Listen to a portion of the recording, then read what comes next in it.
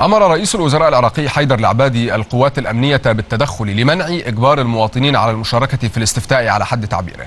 هذا ودعا الرئيس العراقي فؤاد معصوم القيادات في أربيل وبغداد إلى تجنب التصعيد على خلفية استفتاء كردستان مؤكدا ضرورة العودة إلى الحوار لتجنيب الشعب ما لا تحمد عقباه.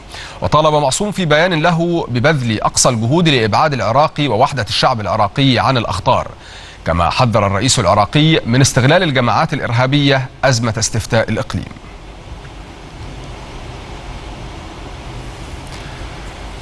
وقد أكد رئيس وزراء إقليم كردستان نجرفان برزاني أن هدف كردستان هو إجراء حوار بناء مع بغداد مؤكدا في مؤتمر صحفي أن الأكراد يمارسون حقوقهم التي تم انتهاكها على مدار الأعوام السابقة على حد تعبيره. إنما نجريه ونقوم به ليس تهديدا للأمن القومي لأي بلد من دول الجوار وإنما نمارس حقا مشروعا لنا. كان منتهكا إلى حد كبير من الحكومة الاتحادية. وكذلك نفس الرسالة نوجهها إلى المجتمع الدولي إلى الولايات المتحدة ودول التحالف وهم مطلعون كذلك.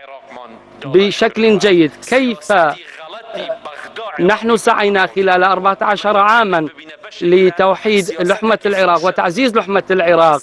وكنا من بناة العراق الجديد ما بعد الدكتاتورية. لكن مع ذلك ومع الأسف بغداد لم تكن لديها ما يشفي غليلنا وغليل الشعب الكردي في هذا الصدد. ونؤكد بأن التهديدات لن تثنينا عن أهدافنا ولا نتمنى أن يكون أن تصبح لغتنا لغة تهديدات متبادلة. إنما نسعى إلى استمرار لغة الحوار. يدعم استفتاء إقليم كردستان العراق فكرة تأسيس دولة كردية يحلمون بإقامتها منذ عقود عززتها وبحسب البعض ثورات الربيع العربي التي يرى البعض أنها أضعفت من قوة الدولة لصالح التفكيك والمطالبة بالانفصال وسط معارضة من بغداد والمجتمع الدولي. جاء الربيع العربي حاملا معه رياح التغيير لأنظمة عتيدة وكسر معه كل تابوهات الخوف والتعقيد وأحيا آمالا كانت مفقودة لدى الكثيرين. ومعه أيضا أيقظ النعرات الطائفية والإثنية من سباتها لقبائل وشعوب وجماعات خضعت بقبول أو بإذعان لسلطات دولها القوية. الأكراد لم يتخلفوا عن الحلم فقد ألهمت ثورة الربيع العربي الأكراد على توزيعهم الجغرافي بعهد جديد يأملون منه تحقيق تطلعاتهم والإعلان عن دولة كردية تجمع شملهم من دول العراق وسوريا وإيران وتركيا. الأكراد عبر سنوات عديدة سابقة حاولوا الانفصال في دولهم الأربع الكبرى لكن محاولاتهم باءت كلها بالفشل. ثم كان الربيع العربي والذي بسببه اهتزت عدد من الأنظمة. ومنها النظام العراقي ما أدى إلى سيطرة التنظيمات الإرهابية ومنها داعش على جزء كبير من أراضيه. حتى كانت المقاومة والتصدي له من قبل قوات البشمركة الكردية وتحريرها العديد من المناطق من قبضة التنظيم. فيما ساهم نجاح حكومة الإقليم للمرة الأولى في التاريخ في تصدير النفط إلى الخارج دون موافقة بغداد على ترسيخ مقومة الدولة. وتعتبر دعوة حكومة كردستان العراق للاستفتاء على الانفصال في الخامس والعشرين من سبتمبر أحدث محاولة للأكراد لإنشاء دولتهم التي طالما سعوا لتحقيقها خاصة وأنهم يتملكهم إحساس قوي بأن الظروف تغيرت. إذ لم تعد العراق وسوريا بالدولتين القادرتين على إعاقة المشروع الكردي كما كان في السابق. موجي لا أعتقد أن أي شخص يستطيع أن يقف ضد الموجة الكبيرة من شعب كردستان عندما يقرر مصيره. ربما سيكون هناك بعض المحاولات لإحباطنا لكننا سنبذل قصارى جهدنا لعدم السماح بذلك. يمكن القول أن ثورة الربيع العربي فجرت الوعي القومي الكردي من جديد وعمقت إدراكهم بقضية الانفصال كقضية لا بد منها في بناء الدولة الحديثة بمعايير الاعتراف بالآخر. ليبقى التساؤل عن الأكراد ومحاولاتهم الثامنة للانفصال. هل ينجح الأكراد بتحقيق حلم الدولة هذه المرة وحده المستقبل القريب؟ كفيل بالإجابة على هذا السؤال. للمزيد ينضم إلينا على الهواء مباشرة الأستاذ أحمد خليفة مدير تحرير وكالة أنباء الشرق الأوسط. أستاذ أحمد أهلا بحضرتك. تصعيد تقريبا من كل الأطراف الأكراد ماضون في استفتائهم. بغداد تقول إنها ستعتبر هذا الاستفتاء والعدم سواء تركيا تغلق الحدود إيران تغلق الحدود وتمنع حتى الحركة الجوية من وإلى أربيل. إلى أين تمضي الأحداث إذن؟ الحقيقة منذ الحرب العالمية الأولى وانهيار الدولة العثمانية الأكراد يحلمون بدولة كردستان أو دولة قومية للأكراد. والحقيقة أن ده كان حلم يراود الأكراد على مدى عشرات السنين. مدى واقعية هذا في الوقت الحاضر. ما أعلنه مسعود برزاني من الاستفتاء ومحاولة لإيجاد دولة كردية في وسط إقليمي رافض لهذه الدولة. أعتقد أنه حلم غير واقعي ومرفوض ولكنه يتلقى الدعم من دولتين محد أو دولتان محددتان هما الولايات المتحدة الأمريكية وإسرائيل نشهد على مدى السنوات الماضية منذ الغزو الأمريكي للعراق الدعم الأمني تحديدا من دولة إسرائيل وشهدنا ما شهدناه من احتشاد الأكراد في الاحتفالات التي أقاموها على مدى الأيام الماضية ظهور العلم الإسرائيلي والعلم الأمريكي بشكل معلن وبشكل واضح واضح الدعم الأمريكي والإسرائيلي لأهداف خاصة بإسرائيل حتى تجد لها موطئ قدم في هذه المنطقة. لكي تكون لها اليد الطولة في الشرق الأوسط بجوار تركيا وبجوار سوريا إذا كانت هذه هي القناعة الأمريكية أستاذ أحمد والشواهد على الأرض تكون والشواهد على الأرض تقول ذلك تقريبا من واقع الدعم الذي قدم لكل الفصائل الكردية المقاتلة في سوريا وفي العراق. لماذا إذن الموقف الأمريكي الرسمي في الأيام الماضية يظهر موقفا خلاف ذلك ويقول أنه دوما يدعم وحدة العراق ويرفض استفتاء الإقليم؟ لماذا يبدو هذا الموقف الرسمي المعلن مناقض لحقيقة الأمر؟ هناك اتجاهين الولايات المتحدة تعمل على مسارين المسار الرسمي المعلن وهو ما تقوله أنها رافضة لتقسيم العراق وأنها ضد الاستفتاء لكن على الأرض يحدث أشياء أخرى. هو الولايات المتحدة وإسرائيل تريد أن يكون لها موطئ قدم في هذه المنطقة حتى تكون لها اليد الطولة في منطقة مهمة جدا مجاورة لثلاث دول وأيضا هناك تحرك الولايات المتحدة ليس على مستوى العراق وحدها ولكن أيضا دعمها لقوات الحماية الكردية التي أصبحت اسمها قوات سوريا الديمقراطية. أيضا سيطرتها على المناطق أو محاولتها السيطرة على المناطق الحدودية ما بين سوريا والعراق. أيضا اشتباكاتها مع قوات الجيش العربي السوري. هناك مخطط كامل للمنطقة في محاولة لتفتيت المنطقة وإنشاء كيان جديد غير عربي هو الدولة الكردية ومداعبة أحلام الشعب الكردي. هناك رفض للإقليم نجد ردود الفعل الصادرة من إيران ويمكن في مباحثات هاتفية تمت ما بين الرئيس التركي والرئيس الإيراني وأيضا رفض عربي على مستوى جامعة الدول العربية والدول العربية أعلنت بشكل واضح وأيضا المنظمات الدولية والإقليمية أعلنت رفضها لهذا الاستفتاء. الدول الوحيدة التي رحبت بهذا الاستفتاء هي إسرائيل. والولايات المتحدة أيضا دعمها واضح جدا حول الموقف الإسرائيلي لما ما هو النفع الذي سيعود على إسرائيل أو على دولة الاحتلال إن إن ذهب إقليم كردستان العراق إلى الانفصال ما هي طبيعة الفائدة التي ستعود عليهم؟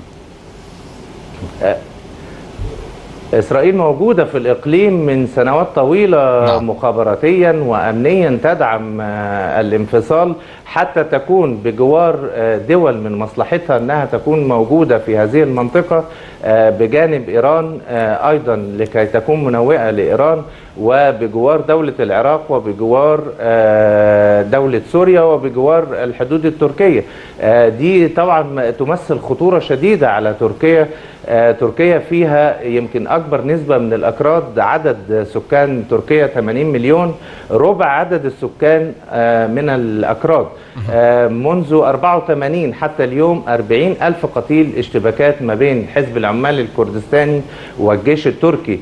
أيضا آه، نجد أن ال- الدولة التركية أعلنت بشكل واضح رفضها لهذا الاستفتاء وكان في محاولات لمحاولة تأجيل هذا الاستفتاء الحقيقة وكلها بقت في الفشل لكن مسعود البرزاني أصر حتى يكسب آه، آه، من الوضع الحالي نتيجة اشتباكات الجيش العراقي مع تنظيمات داعش الإرهابية وعدم آه، استقرار الجيش العراقي منذ سنوات الذي شكلته الولايات المتحدة وعدم تسليحه ضعف ال- الدولة المركزية طيب أستاذ. أحمد، هو بمناسبة آه، المواقف نجد من فضلك يعني. رفض المحكمة الدستورية من من من يتابع تصريحات ال- المسؤولين ومن يتابع تصريحات اتفضل. مسعود برزاني آه، تحديدا على مدى الأيام الماضية قبل أربعة أيام تقريبا من موعد هذا الاستفتاء كان يلمس آه، لينا مفاجئا أو إن بدا مفاجئا في موقف الرجل وبأن هناك ربما تكون إمكانية لارجاء أو تأجيل هذا الاستفتاء إذا ما بني على تفاوض جاد مع بغداد. ما الذي تغير في هذا الموقف وجعله أكثر تشنجا قبل يومين اثنين فقط من بدء هذا الاستفتاء؟ هو حصل حوار ما بين آه، هناك وفد من إقليم كردستان ذهب إلى بغداد للمباحثات. هناك مطالب من الحكومة المركزية العراقية بالعودة القوات العراقية إلى الحدود الدولية لدولة العراق. آه، أيضا النفط في منطقة آه، كركوك وكيف يصدر وما هي عائدات هذا النفط للتصدير. في حقوق مالية وحقوق سيادة الدولة العراقية. آه، المسعود برزاني يستغل آه، ضعف الجيش العراقي واشتباكه مع التنظيمات المسلحة. آه، الرد العراقي كان آه، بالمحكمة الدستورية العراقية رفض هذا الاستفتاء وعدم الاعتراف به وعدم الاعتراف بنتائجه. الشيء الآخر أن الحكومة المركزية العراقية طلبت بعودة السيادة وتجاوز مسعود برزاني لحدود الفيدرالية وسيطرته على مناطق خارج إقليم كردستان. الحقيقة الموضوع كان من أيام صدام حسين حينما أعطى الحكم الذاتي لهذا الإقليم تطور الأمر آه، عقب الغزو الأمريكي للعراق إلى فوضى عارمة في المنطقة. ثم آه، ما شاهدناه من سنوات من سيطرة تنظيم داعش الإرهابي على نصف العراق تقريبا في منطقة الأنبار. الحقيقة مسعود برزاني بيستغل هذا الوضع جيدا بدعم إسرائيلي لوجستي وعسكري وأمني واضح وتدريب لقوات البشمركه آه، آه، حتى تناوي الحكومة المركزية في بغداد. ده الذي يفعله مسعود برزاني هو استغلال الوضع الحالي وانشغال الجيش العراقي في معارك آه، مناطق الحويجة والأنبار وعدم تطهير آه، أغلب آه، المناطق نعم. نعم. العراقية من تنظيم داعش الذي يلقى دعما امريكيا أيضا سنعود غير- غير معلن نعم. سنعود مجددا لنقاش القضية الكردية وهي قضية تبدو معقدة وشائكة على الأقل فيما سيأتي من أيام بعد هذا الاستفتاء لكننا الآن سنذهب إلى مؤتمر صحفي للمستشاره الالمانيه التي تم إعادة انتخاب حزبها لفترة رابعة نذهب لهذا المؤتمر الصحفي ثم نعود لاستكمال هذه الجولة der erste, äh, die erste Möglichkeit, die sich Ihnen bietet. Frau Petri ist ja heute schon rausgegangen.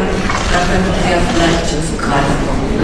Also das, die Absicht habe ich mit Sicherheit äh, nicht, sondern es ging, ich habe darüber berichtet, dass nach den derzeitigen Analysen eine Pläne und der Union vom letzten Mal zur AfD gegangen sind. Es sind auch ganz weit aus dem Nichtwählerlager, weil wir ja eine höhere Wahlbeteiligung haben und dass wir uns bemühen werden, gerade diese Wählerinnen und Wähler durch gute Politik, durch Lösung von Problemen wieder zurückzuführen. تعذر علينا. اذا إتمام هذا المؤتمر الصحفي لوجود مشكلة في صوت الترجمة. أعود مجددا إلى الأستاذ أحمد خليفة مدير تحرير وكالة انباء الشرق الأوسط على الهواء مباشرة. أستاذ أحمد مسعود برزاني قبل سنة ونصف أو أكثر قليلا قال إن العالم كله الآن يدرك أننا ماضون في مشروعنا للانفصال والولايات المتحدة الأمريكية تدرك ذلك تماما. على مدى العام ونصف العام أو أكثر آه، قليلا ما الذي تغير وجعل العالم كله يبدو كما لو كان مندهشا مما جرى؟ بص حضرتك هو ما فيش اندهاش ولا حاجة. هو الولايات المتحدة الأمريكية آه، تسير في سياسه سياستها الخارجية على مسارين. دايما بتعمل ده. هناك آه، تحرك آه، يعني مخابراتي وأمني وباشكال غير وزارة الخارجية الأمريكية. غير آه، ما تصدره الولايات المتحدة من بيانات آه، زي رفضها للاستفتاء أو الاستفتاء في غير وقته. آه، نجد أن مسعود برزاني الأحزاب الكردية في العراق والتيارات الأخرى آه، غير الكردية في إقليم كركوك في في كردستان آسف آه، ترفض هذا التوجه. أو تطالب بتأجيله. لكن الحقيقة إن هو آه، يعني ما فعله مسعود برزاني هو استغلال جيد جدا للموقف الحالي من انشغال الجيش العراقي في معاركه الداخلية. الولايات المتحدة على الجانب الآخر الحقيقة تريد آه، أن تستمر قوتها ودعمها المخابراتي والأمني بجانب إسرائيل في هذه المنطقة بالذات. لوجود ارتباطات حدودية ما بين آه، أربع دول ونجد دعمها أيضا لقوات الحماية الكردية أو آه، قوات سوريا الديمقراطية رغم أن عدد الأكراد في سوريا عددهم قليل مقارنة بأكراد العراق وأكراد آه، تركيا. نجد أن الدولة التركية التي تتحالف مع إسرائيل ولها مصالح وعلاقات تجارية واقتصادية وسياسية قوية جدا بالدولة العبرية آه، نجد أن إسرائيل آه، تعمل ضد المصالح التركية وتعمل ضد المصالح الإيرانية بالتعاون مع الولايات المتحدة وتعمل ضد المصالح العربية آه، وتعمل ضد سيادة دولة العراق. نعود للعام 2003 هو بداية التواجد الأمني الإسرائيلي في هذه المنطقة وهي إقليم آه، كردستان وتعاونها ومداعبتها للحلم الكردي بإقامة دولة. الحقيقة هناك أكراد إيران وهناك أكراد سوريا وهناك أكراد آه، تركيا. آه، لن تقبل تركيا لن تقبل إيران. آه، الاستفتاء الذي قام به السيد مسعود برزاني الحقيقة آه، محكوم عليه بالفشل نتيجة آه، أن الولايات المتحدة وإسرائيل تعمل ضد مصالح الإقليم. آه، هي بتعمل في اتجاه واحد وهي فرض نفوذها وسيطرتها الأمنية والعسكرية على. ما هو ما هو المعيار الذي استندت إليه في من الأكراد في القول بأن نتيجة هذا الاستفتاء ستكون آه، الفشل. هي ستمضي في سياسة الأمر الواقع. نذهب إلى استفتاء سننفصل. ثم بعد ذلك الجميع كذلك المحيط المجاور لها كما ذكرت حضرتك يقول إنه يتعامل مع هذا الاستفتاء كأنه والعدم سواء. كيف يمكن التعامل وفق هذه الأسس؟ وكيف يمكن الاستناد أيضا إلى هذا المعيار معيار الفشل لهذا الاستفتاء؟ آه، سيدي الفاضل الاستفتاء مرفوض على مستوى الإقليم. تركيا ترفض الاستفتاء إيران ترفض الاستفتاء الدولة العراقية صاحبة السيادة ترفض هذا الاستفتاء بحكم المحكمة الدستورية. آه، العراق بيحكمها نظام فيدرالي بعد الاحتلال الأمريكي في 2003 آه، هذا الرفض هو رفض قانوني ورفض سياسي. آه، كيف تستطيع؟ وتركيا هددت بإغلاق الحدود منع تصدير النفط من كركوك. الحقيقة إقليم كردستان يعتبر إقليم مقفول حدود مقفولة. ليس له منافذ غير المنفذ الجوي. هو ارتباطاته بحدود برية. حينما يتم حصار هذا الإقليم سيتم آه، بالضرورة خنق هذا المشروع. آه، ال- المؤشرات كلها بتقول في حالة إصرار آه، فصيل مسعود برزاني أو آه، القيادة التي تتولى الإقليم حاليا بقيادة مسعود برزاني الاستمرار في هذا الوضع هو سوف يؤدي إلى شيء واحد هو حرب إقليمية في الإقليم. سترفضه إيران وتتدخل عسكريا ترفضه تركيا وتتدخل عسكريا أيضا وأعلنت ده تركيا الحقيقة. آه، أيضا سترفضه العراق وسوف يتدخل الجيش العراقي آه، في المناطق التي سيطرت عليها قوات البشمركة التابعة لمسعود برزاني. أيضا الدولة السوريه آه، واشتباكاتها مع لكن الحليف من أحمد الفصائل، الحليف اذا بين أخلص داعش. تجاه هذا المشروع الذي كما ذكرت حضرتك كان يرمي إليه منذ البداية لن يقف مكتوف الأيدي حيال تهديدات عسكرية لحليفه بل لمشروعه بالأساس. الولايات المتحدة الحقيقة كل الفصائل آه، سواء البشمركة آه، أو آه، قوات سوريا الديمقراطية تنتظر المكافأة الأمريكية. هم ما بي يعني المشروع يسير على متوازيين. المتوازي الأول هو مداعبة الحلم الكردي وده دي, قومية الحقيقة وعندها أحلام وطموحات في إقامة كردستان الكبرى. بالتوازي مع المصالح الإسرائيلية والأمريكية في إنشاء موطن قدم لها في هذه المنطقة آه، في وسط رفض عربي وإقليمي من آه، جارتان قويتان مثل تركيا وإيران.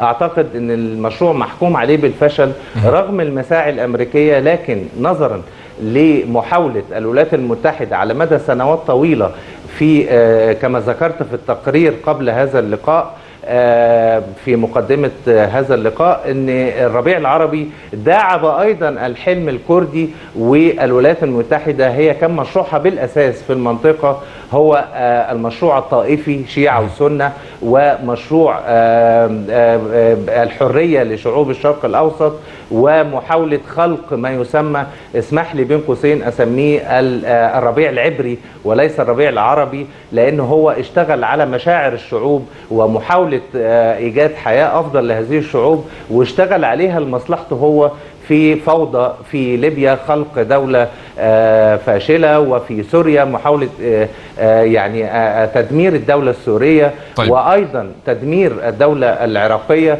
ومحاولة تدمير مصر فعلا ده كل ده مخطط نراه بأعيننا على نعم. مدى سنوات طويلة كان من ضمن المشاريع هو طيب خلق هذه يعني الدولة وإيجادها في المنطقة سنعود لنتعرف على ما هي طبيعة أو أسس الحل الممكنة إذا كان الكل يتحدث في مساره الخاص. كيف يمكن إيجاد تسوية لهذه الأزمة خصوصا إذا ما تم الإعلان عن انفصال إقليم كردستان العراق من جانب واحد من جانب حكومة كردستان العراق؟ ولكن بعد فاصل قصير أرجو أن تبقوا معنا. نعود مجددا إلى ضيفنا على الهواء مباشرة الأستاذ أحمد خليفة. أستاذ أحمد ما هي سبل الحل؟ ما هي سبل الوصول إلى تسوية حجم التنازلات التي يمكن أن يقدم من كل الأطراف؟ آه زي ما قلت حضرتك هو ما فيش تسوية إلا بتنازلات. هو الوضع الطبيعي لإقليم آه كردستان الذي آه بدأه الرئيس الراحل صدام حسين هو إقليم بحكم ذاتي. بمعنى أن إدارة شؤون إقليم كردستان لأهل كردستان بجميع أطيافهم ومكوناتهم السياسية والعشائرية وأطيافهم سواء عرب أو كرد إلى آخره. لكن الحدود والسيادة بما أن العراق دولة فيدرالية تبقى للحكومة المركزية في بغداد الحدود والمطارات والنفط والإدارات السيادية تبقى للدولة العراقية. هذا هو الحل العملي الذي يرضي جميع الأطراف وده الوضع الحالي. لكن طموحات السيد مسعود برزاني بالخروج بدولة في وسط هذا الإقليم كردية هي تداعب ملايين الأكراد ومشاعر ملايين الشعب الكردي في حدود دول أخرى هي إيران وتركيا وسوريا. لماذا أصر مسعود برزاني لماذا أصر على أن يضع كركوك المتنازع عليها ضمن اتفضل. المناطق التي يشملها هذا الاستفتاء؟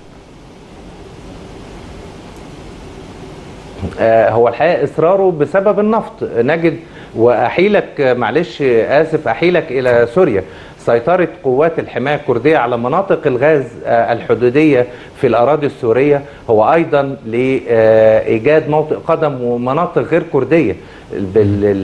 يعني للعلم هي مناطق لا يوجد بها أكراد. نعم. ولكن بتعليمات من الولايات المتحدة الأمريكية تحرك قوات الحماية الكردية أو قوات سوريا الديمقراطية إلى مناطق دير الزور تحديدا بسبب الغاز كركوك بسبب النفط. لكن هناك تهديدات تركية التي تتحالف مع الولايات المتحدة ومع إسرائيل بإيقاف تصدير هذا النفط الكردي. هناك مصلحة مشتركة لدول الإقليم كلها لوأد هذه الفكرة وأحلام التوسع لدى نتنياهو في إسرائيل الذي رحب ورحب وزير العدل ورحب وزير الدفاع الدولة الوحيدة في العالم التي رحبت بهذا الاستفتاء ونجد على ال social media ترحيب من الأكراد بشتى أطيافهم بهذا نتيجة مداعبة الدول هذه الدولتان للحلم الكردي بشكل واقعي لا يجب أن تستهين بما تفعله الولايات المتحدة على الأرض من نعم. إيجاد موطئ قدم لمخابرات هاتان الدولتان وأيضا مستقبلا المشروع المخطط له. نعم. ايجاد موطئ قدم لقوات أمريكية بجوار الحدود التركية وصلت الفكرة هذه أستاذ أحمد خليفة. بعد خروجها في 2011 نعم. شكرا جزيلا لك. أعتذر منك على المقاطعة الأستاذ أحمد خليفة مدير تحرير وكالة أنباء الشرق الأوسط منضما إلينا على الهواء مباشرة. ختام هذه القراءة التي خصصناها لتغطية جملة من التطورات. سنتوقف الآن مع حضراتكم في فاصل قصير. نعود بعده لاستكمال ما تبقى.